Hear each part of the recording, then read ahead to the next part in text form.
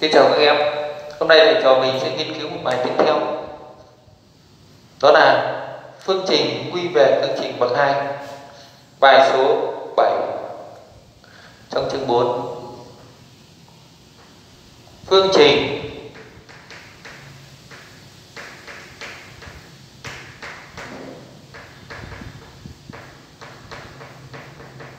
quy về phương trình bậc 2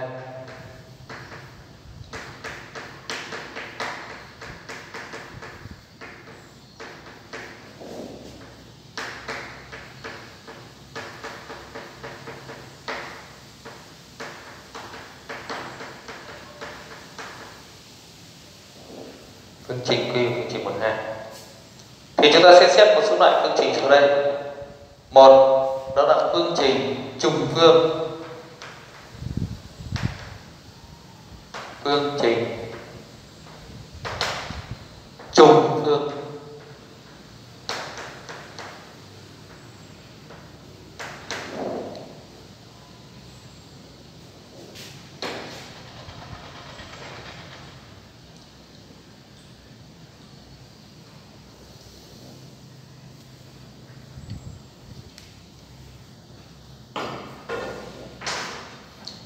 phương trình trục phương là phương trình như sau. Có dạng a x 4 cộng b x bình phương cộng c bằng 0 với điều kiện đó là a khác không. Chúng ta hãy phân, chúng ta cùng phân tích để xem cách giải sẽ như thế nào chúng ta có thể viết phương trình về dạng như sau. Đó là a x bình phương tất cả bình cộng b x bình phương cộng c bằng không. Như vậy chúng ta nhìn vào phương trình này, này chúng ta thấy nó giống với phương trình bậc hai với ẩn là x bình. Vậy nếu thầy đặt x bình bằng y thì lúc này phương trình sẽ có dạng. Đó là a y bình phương cộng b y cộng c bằng không.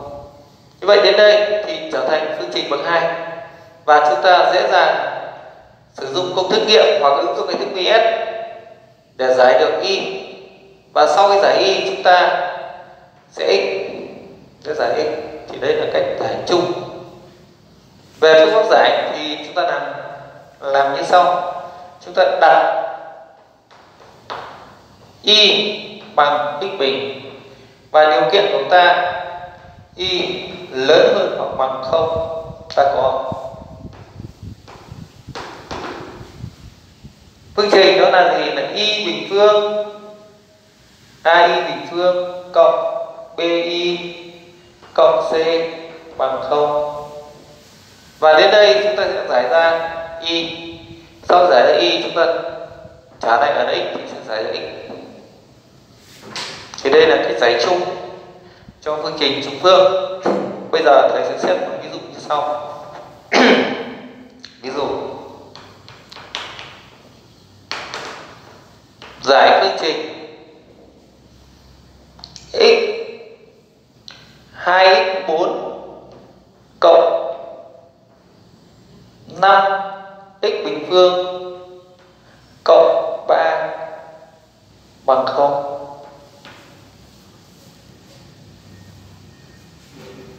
Thế thì cách giải được vừa nêu rồi, chúng ta dễ dàng giải được ngay. Chúng ta thực hiện giải sau chúng ta sẽ đặt đặt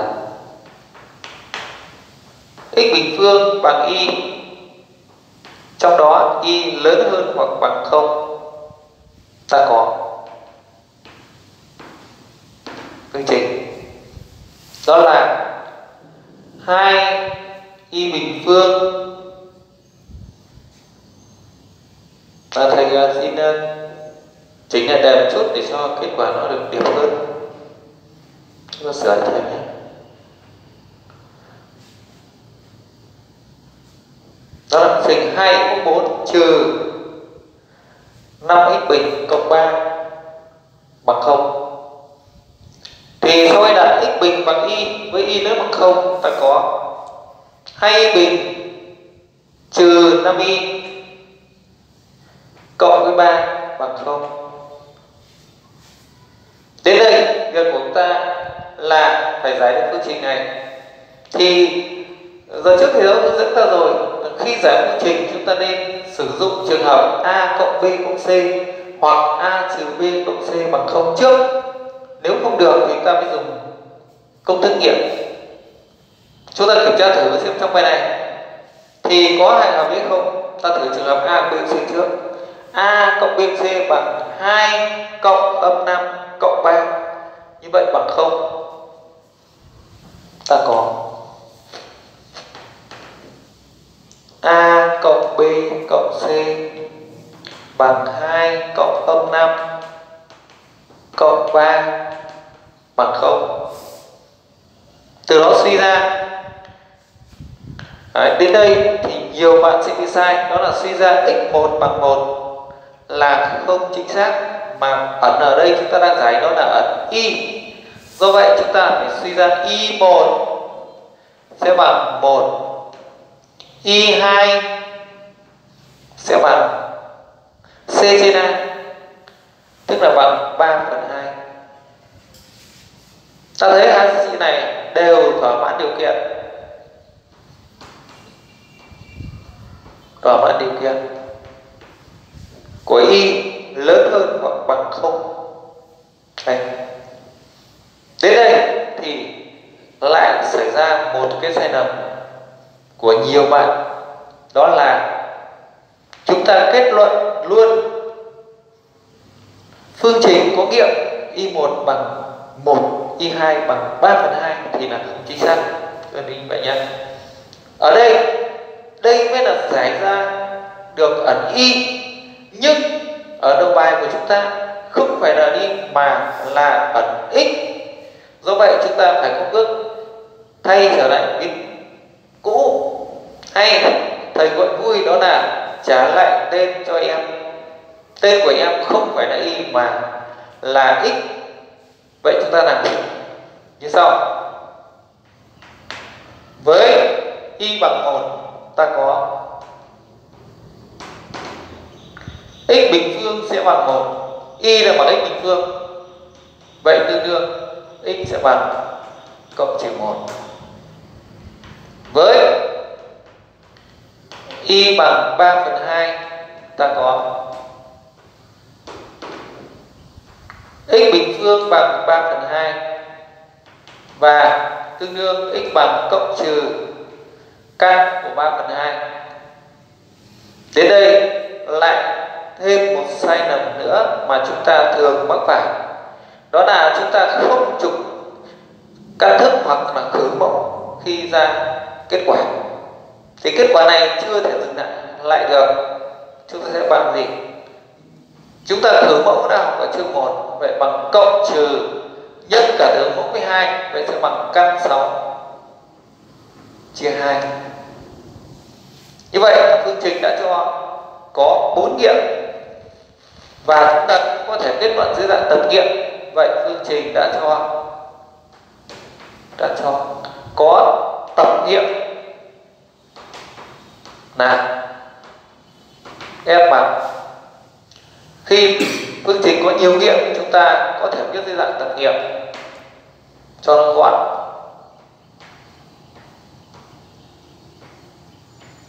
đấy. Như vậy là trong cái phương trình chúng phương chúng ta thấy là phương pháp giải thì cũng không quá khó khăn. Tuy nhiên, chúng ta sẽ mắc nhiều cái sai lầm. Ví dụ như đặt điều kiện của y nhưng không so sánh điều kiện. Ví dụ như không thực hiện bước trả lại tên cho em, thì chúng ta dẫn đến kết luận ngay khi chúng ta giải y một y hai. Rồi không khử mẫu ở biểu thức căn hoặc không cho các thực mẫu, vân, hoặc ở chỗ này.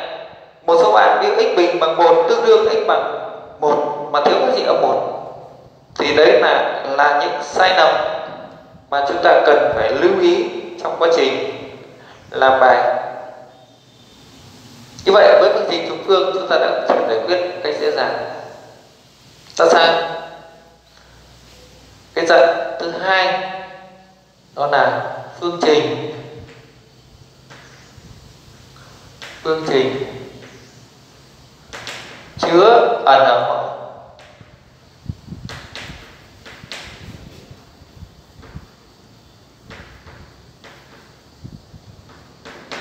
phương trình chữa ẩn, thức.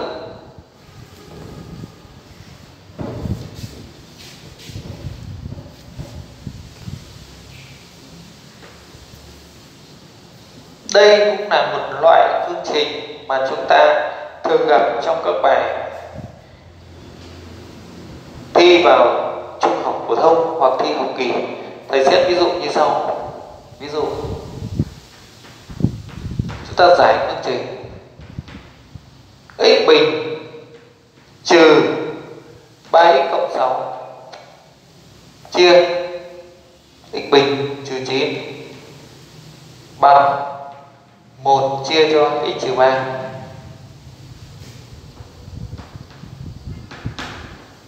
Vậy chúng ta sẽ thực hiện lời giải như thế nào? À, chúng ta thầy xin nhắc lại các bước giải phương trình của ẩn mẫu thức như sau. Bước 1 là đặt điều kiện xác định. Bước 2 là quy đồng hai vế và khử mẫu. Bước 3 là giải phương trình vừa tìm được và bước 4 là so sánh điều kiện và kết luận. Đó, chúng ta cần phải thực hiện qua bốn bước như vậy. Thế thì việc đầu tiên chúng ta cần điều kiện xác định như thế nào? Thì một số bạn bây giờ quên rồi không biết là điều kiện gì. Thì chúng ta nhớ là có mẫu thì chúng ta đặt điều kiện cho mẫu khác không? Hay đặt như nào? Cách tính nào? Chúng ta sẽ tiến hành như sau. Chúng ta cho từng cái mẫu này bằng không x bình trừ 9 bằng không. Vậy x bình sẽ bằng 9 và từ đây ta thấy ngay x bằng cộng trừ 3 mẫu thứ hai, x trừ 3 bằng không. Và ta giải được x bằng 3 như vậy tổng hợp lại thì x sẽ bằng cộng trừ 3 hoặc x 3 do đó, chúng ta được việc xác định, chúng ta chỉ việc cho nó khác các giá trị ta vừa tìm là xong. Đơn giản như vậy thôi. Vậy bây giờ thầy viết như sau. Trước tiên, bao giờ chúng ta phải viết lại phương trình?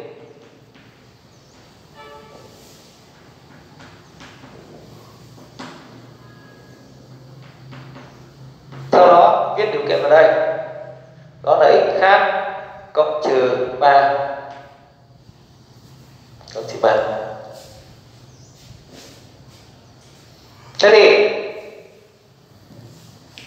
xong bước một đặt kiện, bước hai ta đó là quy đồng hai tí và khử mẫu với bằng. Mẫu xem nhé bên này là x cộng 3 nhân x trừ 3 bên bên trái thì là x trừ 3 chúng ta cũng phải lấy mỗi trung thành là x cộng 3 là x trừ 3 thế thì ở bên này, mẫu của nó chính là mẫu chung vậy chúng ta giữ nguyên x bình trừ 3x cộng 6 bên phía phải 1 nhân. Thì ở đây mẫu ban đầu là x trừ 3 vậy bây giờ chúng ta phải nhân thêm nhân tử phụ đó chính là x cộng 3 à, qua quá trình dạy nhiều lắm thì thầy giáo thấy nhiều bạn của chúng ta là à, bị cái thực trạng đó chúng ta bỏ qua bước này thì cũng không có gì sai. Tuy nhiên thứ nhất là theo các bước giải chúng ta đã làm mất đi một bước và thứ hai là nhiều bạn sẽ bị sai trong quá trình thực hiện quy đồng cho nên, thầy lưu ý chúng ta, khi thực hiện giải trình luận công thức, chúng ta nên thực hiện đủ bước này vào trong bài của mình. Sau đó thử mẫu thì chúng ta dùng dấu là suy ra, nhớ là suy ra tương đương thôi bước này, chúng ta như vậy. Giờ x bình này, trừ 3x cộng 6 bằng x cộng 3 như vậy là chúng ta đã thực hiện được. Cái bước thứ hai đó là gì? Quy đồng hai vế và thủ mẫu hai bước cho sau. Bước thứ ba, đó là chúng ta phải giải phương trình này. Vậy sẽ tương đương. Chuyển vế này, x bình. Trừ 3x chuyển x sang đây thành trừ x nữa, thì thành trừ 4x 3 chuyển sang thì 6 trừ 3 còn 3 bằng không? Chúng ta thấy phương trình này, chúng ta thử kiểm tra xem hai cái trường hợp đặc biệt có được không? Thì trường hợp nhất là a cộng b cộng c, a 1 cộng âm 4 cộng 3 bằng 0 vậy ta có a cộng b cộng c bằng 1 cộng âm 4 cộng 3 bằng 0 như vậy, ta suy ra, khi a cộng b cộng c bằng 0 thì x1 sẽ bằng 1 và x2 sẽ bằng c sin a. C sin a tức là 3 trên 1 vậy sẽ bằng là 3 bây giờ chúng ta phải so sánh cái điều kiện. Đấy. đối chiếu cái điều kiện xem sao đối chiếu điều kiện. Đối chiếu điều kiện.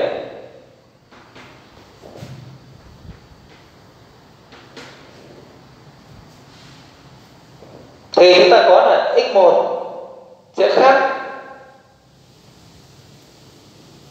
cộng trừ 3 vậy thỏa mãn. X2 bằng 3 vi phạm điều kiện. Loại do vậy chúng ta phải biết là đối chiếu điều kiện ta được là x1 bằng 1 thỏa mãn. Thỏa mãn. Và x2 bằng 3 loại. Đấy. Ờ, trong quá trình làm thì chúng ta cũng có thể làm nó ngắn gọn hơn chút. Thầy có thể ờ, biết ờ, như thầy rồi thì nó rõ ràng từng bước ra. Tuy nhiên nó hơi dài thì chúng ta có thể trình bày như sau cho ngắn gọn hơn. Thế này không gì sai nhé. Và một số sách ờ, người ta cũng trình bày như vậy. Tuy nhiên nó hơi dài một chút. Vậy chương trình đã cho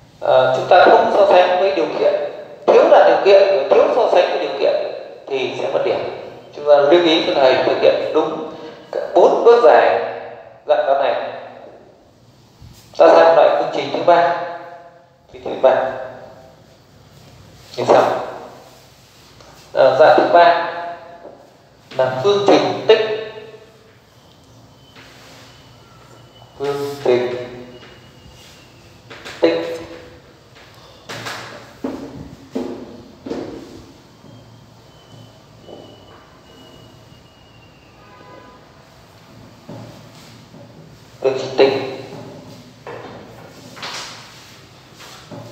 Thủy tinh là cái khí như nào?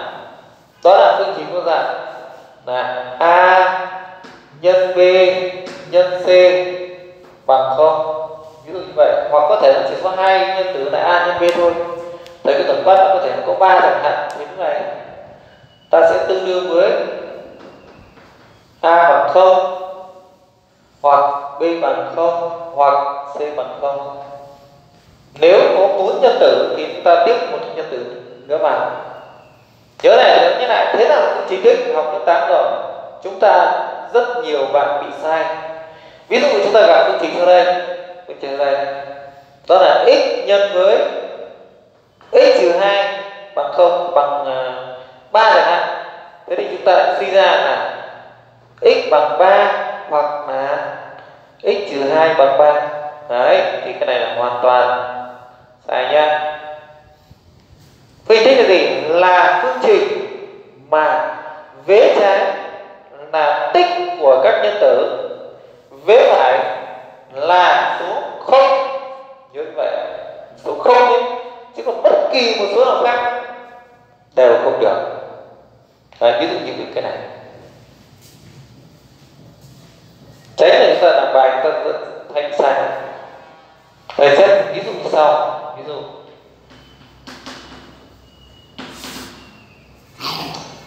À, giải phương sau.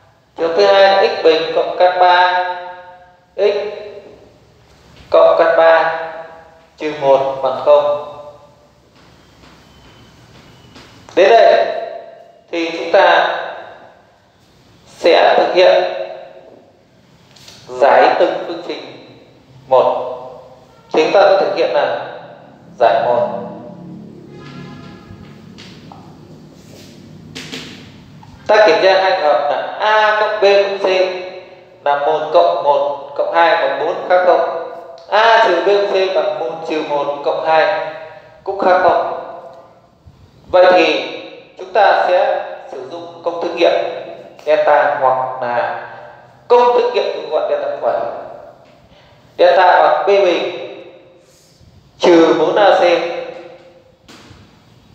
bằng 1 trừ đi 8 bằng trừ 7 nó không. Như vậy, phương trình một vô nghiệm. Đến đây là chương trình một vô nghiệp.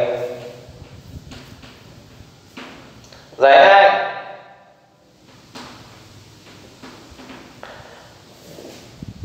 Chúng ta thử kiểm tra hai hợp đặc biệt trước.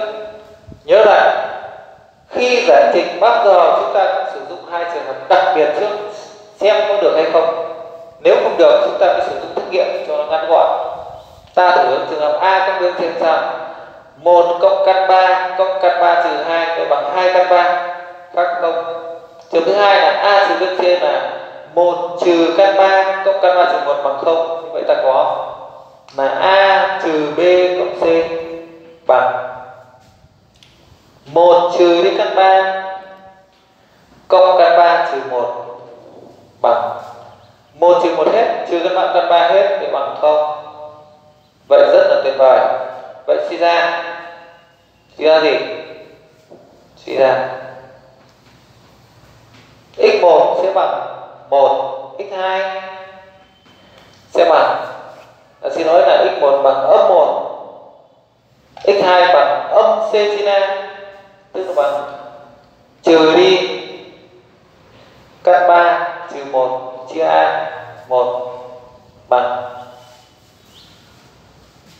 trừ căn 3 cộng 1 đấy, như vậy chúng ta giải xong phương trình thứ hai và ta kết luận. Vậy vậy phương trình, chúng ta phải ký hiệu cho đã cho đã cho có nghiệm là x1 sẽ bằng trừ 1 x2 bằng trừ căn 3 cộng đấy. Trình nhất, xong. Thầy thì nhắc lại về phương pháp giải như sau. Bước đầu tiên, chúng ta phải kiểm tra xem phương trình có đúng là phương trình tích hay không. Đấy. Bước hai, đó là gì? Đó là chúng ta giải theo đúng cái cách giải ra sau khi ra các phương trình thành phần thì chúng chúng ta nên thực hiện giải từng cái trình một. Và cuối cùng là kết luận. Khi kết luận chúng ta lấy tất cả các nghiệm của các phương trình thành phần. Ở đây vô nghiệm rồi. Ví dụ ở đây có hai nghiệm phân biệt. Ở đây có hai nghiệm thì phương trình có bốn nghiệm. Đấy, ta xét ví dụ thứ hai. Đó là x trừ 2 tất cả bình trừ đi 2x cộng 1 tất cả bình bằng 0 đơn giản như vậy thôi thế thì ở đây, một số bạn sẽ thực hiện bằng khai triển ra thu gọn lại thành phương trình bằng hai, sau đó dùng thực nghiệm giải đương nhiên, hoàn toàn không có gì sai. Tuy nhiên, ở đây thầy muốn chúng ta đưa cái dạng quy trình tích về đúng dạng tân học. Thì đây có dạng hàng đẳng thức số 3 đã bình trừ b bình, vậy nó viết thành là x trừ 2 cộng với 2 cộng 1 nhân. X trừ 2 trừ. Trừ. Cái chỗ này chúng ta rất dễ sai nha. X trừ 2 này. Trừ. À, trừ là trừ cả cái biểu thức này. Do vậy nó sẽ bằng là trừ đi 2x trừ 1 bằng không. Tương đương thu gọn lại, x cộng 2x được 3x trừ 2 cộng 1 bằng trừ 1 nhân x trừ 2 phải được âm x. Trừ 2 trừ 1 trừ 3 bằng 0 ở đến đây thì chúng ta thấy đây chính là phương trình tích. Vậy chúng ta tự giải thích cho thầy rất là đơn giản. Như vậy trong tiết học ngày hôm nay, thầy xin lưu ý là gồm những nội dung chính như sau. Cần nhớ, một, đó là phương trình phương và cách giải. Hai là phương trình chứa mẫu thức với bốn bước giải. Thứ ba là phương trình tích. Thì chúng ta nhớ về ôn lại thật kỹ các nội dung này để phục vụ cho các tiết học tiếp theo. Sau đó chúng ta sẽ làm giúp cho thầy các chương trình sau đây. Các bài tập sau. Về nhà nha các bài tập đó là ba tư ba năm ba sáu ba bảy. Về nhà. Từ ba tư đến ba bảy. Trong sách giáo khoa trang 56 Đấy, nhớ là chúng ta tích cực về nhà làm bài. Sau đó gửi 9B sẽ gửi Zalo riêng cho thầy để thầy kiểm tra. Xin chào và hẹn gặp lại các em trong các buổi dạy tiếp theo.